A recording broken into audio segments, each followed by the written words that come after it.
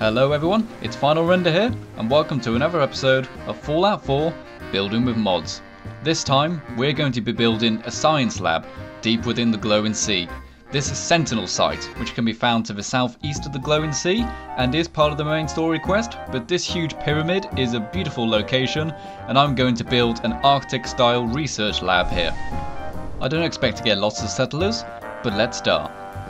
The trick to building outside of a normal settlement is to use the command console. First you need to do God mode so you can actually start building. It also gives you unlimited resources. It says that there are enemies nearby if you don't do this. And then type in player.placeatme C1AEB in the command console. That will spawn a workshop at your feet with a very large radius. And then you can start building. Nice one command console. First mod we're showcasing is the craftable solar panels and fusion reactors. This is, as the name suggests, some animated solar panels and an animated fusion reactor, which gives you power to your settlement. Tell you the truth, I actually think this is much more lore friendly than having diesel generators, and they're animated beautifully, and I think it's a brilliant idea to have these solar panels in Fallout 4. It just something about solar panels just looks so good. The main kind of backbone of the science lab section is going to be using the homemaker mod. Very similar to alternate settlements in the sense that it adds lots of new building materials and lots of new items to add to your settlements.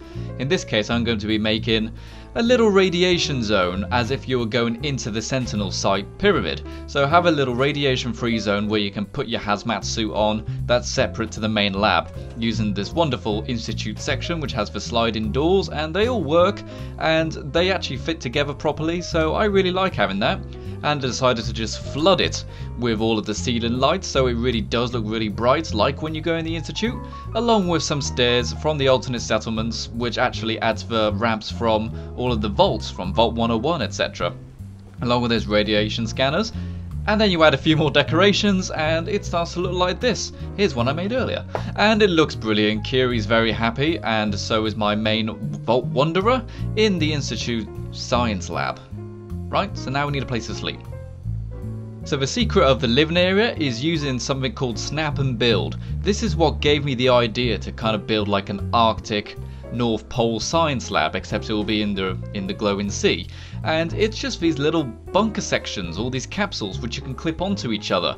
And all of the walls snap on together, you can get some with windows, you can get sliding doors, and you get the little four-way capsules so that you can build whatever you want and make a little metal tunnel system and it looks exactly like a science lab that you would find in Antarctica for example. So this is what gave me the main idea and I really like it. The mod works really well. You can also use the exact same mod for building things like greenhouses and warehouses and you can also change all of the paint systems to get say like Vault-Tec ones. And I need a little food section in here, so once again I'm going to be using the working food planters mod to give myself some mutfruit planters. This entire lab isn't going to be very big, it's only really going to have like four people in it. And using alternate settlements, and I also believe it is involved in Homemaker as well. So these double bunk beds. These give you two sleeping areas for the price of one.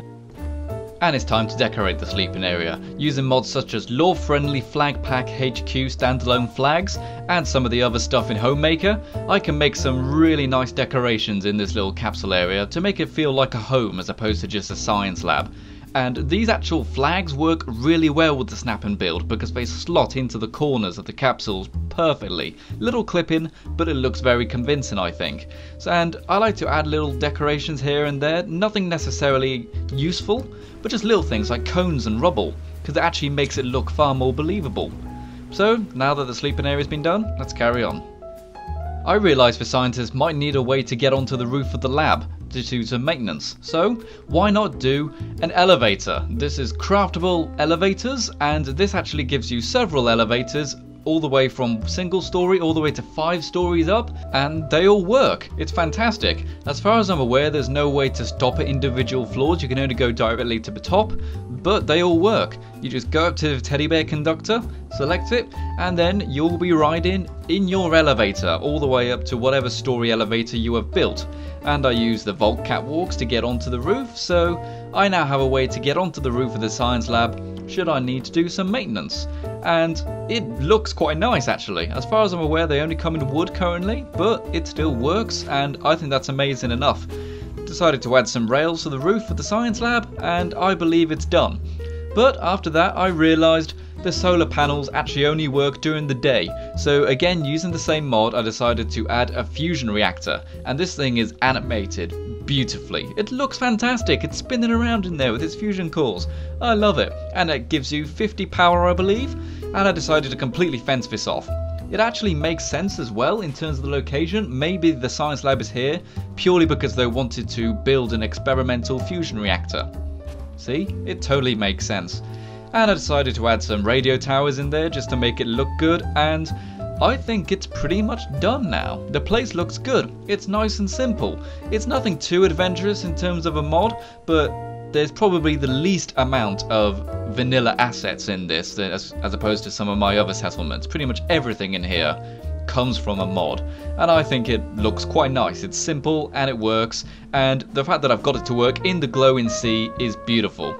And the thing about the glowing sea is, it's probably one of my favourite places in the game. It's just so hostile and the weather looks beautiful as you can see in this time lapse. But then, as I was about to finish up the video, a new mod came out that I had to have. This is craftable animated water wells. This came out literally as I was just about to export the video and I thought I've got to put that in there. This animated well is perfect because there's no way to actually get water purifiers in the glowing sea, but this will give me 150 water and the animation on it is fantastic, truly top notch and it's the perfect icing on the cake for this science lab. So, thanks very much for watching guys, this has been Final Render and this has been me building in the glowing sea. I really enjoyed building in a place that wasn't a standard settlement, actually by putting my own workshop somewhere, and I'm now seeing almost unlimited potential using these mods. So thanks very much for watching guys, I really hope you enjoyed it, please subscribe if you did, and I look forward to seeing you in the next video. I'm not too sure where I'll do a settlement next, maybe you should leave a comment telling me where I can actually build next. So, thank you very much, this has been Final Render, and you have been the audience.